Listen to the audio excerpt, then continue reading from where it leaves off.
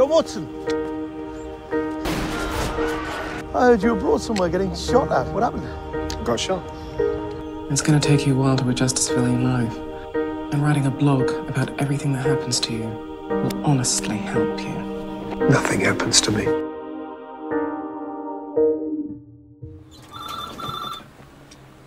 Hello?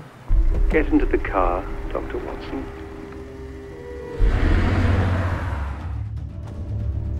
Have a seat, John. You don't seem very afraid. You don't seem very frightening. What is your connection to Sherlock Holmes? I don't know him. The bravery of the soldier. Who the hell are you? If you were to ask him, he'd probably say his arch enemy. I'm to take you home.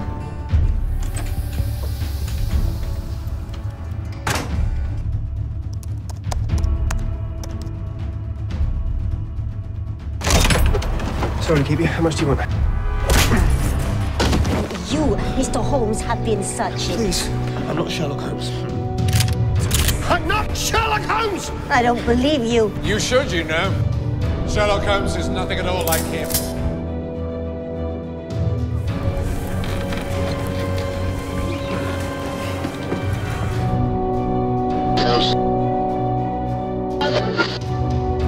Stay away from Sherlock Holmes.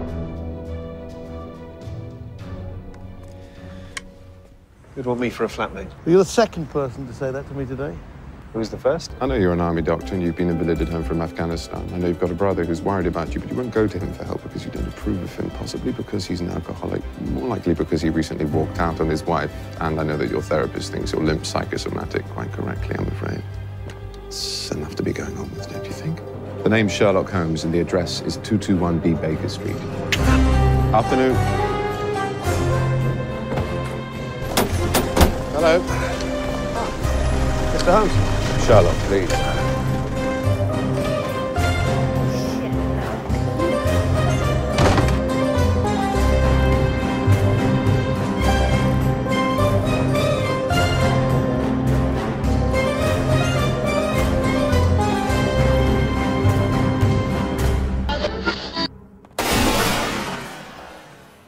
Psychopaths get bored.